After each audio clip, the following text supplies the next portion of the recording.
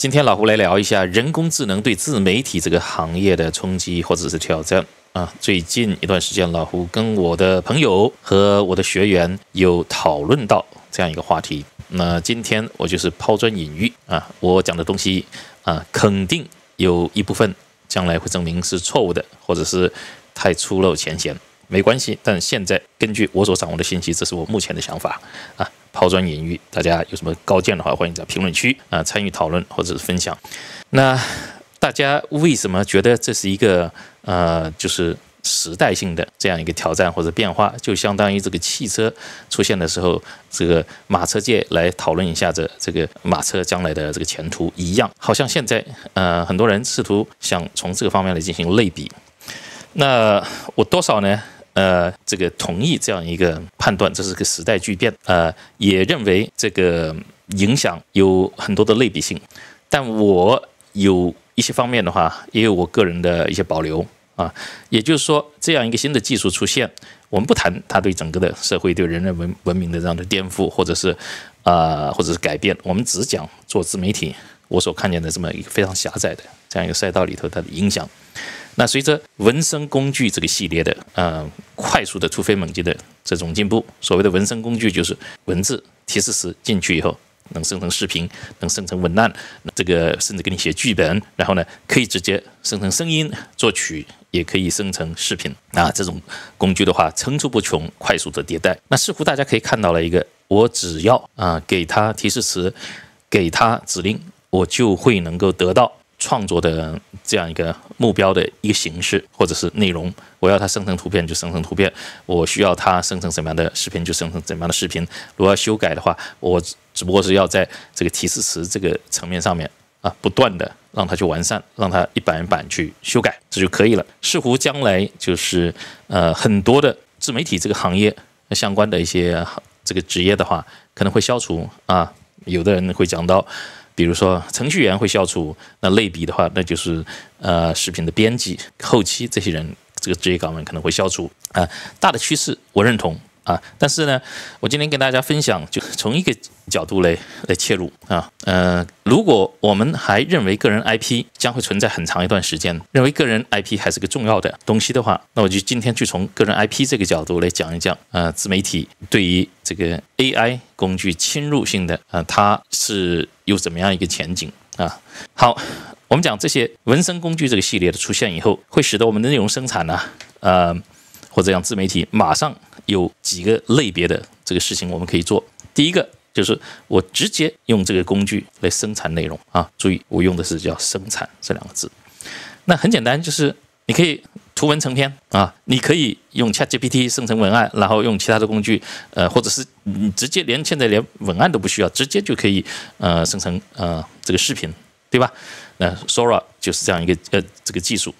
那也就是说，有很多信息啊，或者是情报啊，或者是啊这个内容采编这一块的这个内容，它直接就可以通过这个工具直接生成啊指定的内容形式，要么图片，要么声音，要么视频啊。那这就是我们讲第一类的，用这些 AI 的工具直接来生产内容。那这一部分的话，我觉得是最直接的一个使用，很多大量的工作室就可以使用这样一个工具，直接就批量的、呃廉价、几乎自动化的生产内容。呃，这个内容也会得到市场的欢迎，因为呃很多的以前的这种形式，或者是呃这个信息啊，或者是知识点呢。它用这种新的工具、新的形式生产一遍的话，它是有它的价值的，因为容易这个消费，呃，容易理解。比如说很多童话故事啊、儿童读本呐，呃，教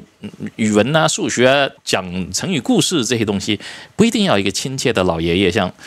来当你的面讲这些故事给你听，对吧？所以这些这一类东西的话，它有价值啊，并且呢有经济效益。也就是说，最早使用这一批的人，他的确能赚到钱，所以这个是我们啊讲，你应该从这个层面上呢，可以完全积极的去拥抱这样一个工具，做第一批的吃螃蟹的这些人，直接去使用它，然后就批量的生产内容，你不用去管，哎呀，这个平台的政策啊，呃，它打击 AI 啊，然后不给你流量啊，这里头有很大很大的一个空间。让你去生存，让你去赚钱啊！你可以在跟这个平台玩猫捉老鼠的老鼠的游戏。第二个，呃，我们讲可以呃做培训做课啊，我们通常讲的叫卖铲子的这批人，AI 工具层出不穷，数以百计、数以千计啊。通过联盟营销、推荐啊这些工具、培训这些工具，你能赚到钱啊。那至于我们刚才讲第一类的，用这工具直接去赚钱的，那那些人也很高兴，就说你做这个 AI 的培训、教师、教练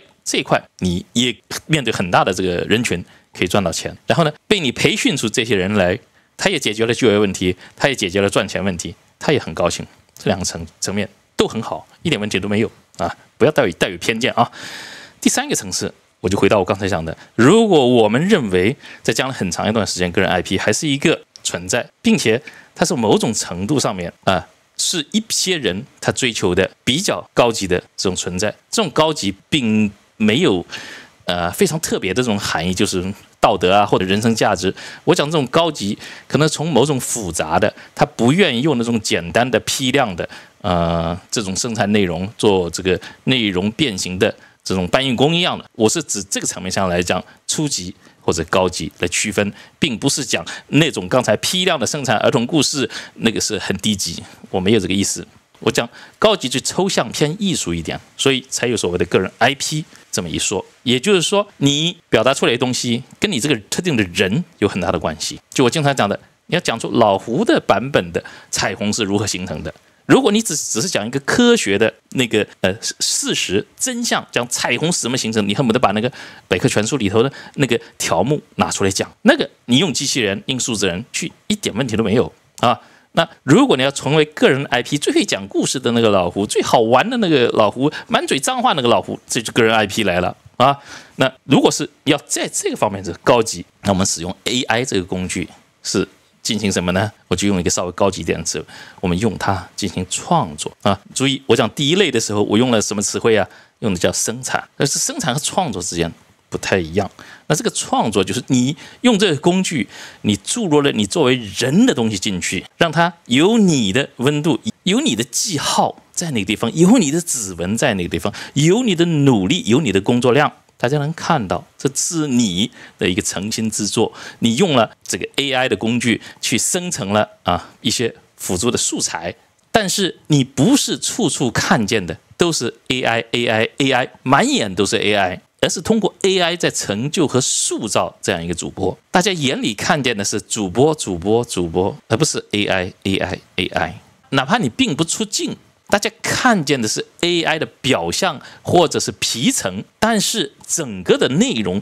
他能感受到。这个使用工具的这个人的东西，在这个节目里面，在这个视频里面，这就是所谓的个人 IP，并不是像很多人错误的理解，所谓的个人 IP 一定是怼一张老脸喷的你一脸的唾沫星子，不是这个意思。你可以不出镜，你可以匿名，你可以什么身体部位都不出现在这个镜头面前，但是人家依然能够感受到这是这一个人的作品，这才是个人 IP 的本质。那当然。这个所谓的个人，并不见得一定是一个单一的某一个人，可能是某一个工作室，可能是某一个品牌，对吧？所以我就用个人 IP 这样一个不是非常严谨的这样一个代称，来区别于完全机器化、自动化、流水线生产出来的没有体温的这样一些内容，冷冰冰的、准确的数据。或者是知识，它本身是有价值的。一公里等于多少米？地球到月球之间的距离，这样的内容也许真的没有必要你出镜做一个非常复杂的这种挑战，边引体向上边说这个数字，对吧？这就是我们前面讲的第一类，你用这个人工智能的工具，完全就可以满足观众对这样一个知识点的需求。而在第三个层面上，这个所谓的创作个人 IP 这个时代的话，这世界上有更大的更。深层的这种需求，人们渴望人跟人之间的某种交流和互动。大家是不是感觉得到？当你打电话去找一个公司里头的客服的时候，如果对方真的是一个人工客服跟你说话，他不如机器那么精确，你依然会觉得这个公司是一个有诚意的公司。有很多的场景下，我们希望是跟一个真人、跟一个活人在打交道。所以我个人的理解，你 AI 如何发达，它都无法消灭。所谓的一个真实的个人 IP。数字人的技术、语音合成的技术，不管你如何发达，只要是你发现你看的那个不是真的老胡，是一个假的，是一个机器的话，你的感觉都会立刻差很多很多。所以我不管将来人工智能这一块对自媒体的它的侵入程度是百分之六十、百分之八十、百分之九十，但是即便残存了百分之五的这样一个真实的个人的 IP。也可以容得下这世界上的五万个、五十万个、五百万个这样的玩家，所以我根本就不担心今天在塑造个人 IP、让本事长在人身上的这些努力啊，会被历史证明是一个浪费的行为。所以我的态度是拥抱 AI，学习和使用 AI，借助 AI 去创造更好的内容，但千万不要丢掉了你自己，让 AI 取代了你。一个马车夫走进汽车时代的方法。不是拒绝、反对、抗议，而是利用你在马车这个行业里面学到的技术，展现的忠诚、可靠，愿意学习新的东西，怀着一份好奇或者是热情去了解汽车。也许学着开汽车，也许开一个汽车修理厂，也许倒卖一点汽车零配件，甚至还可以收购一些马匹，把那些拉车的马变成娱乐的马。总之，新的技术、新的生产力，打开了一个更大的事业的机会、创富的可能性。你觉得呢？来评论区讨论，谢谢。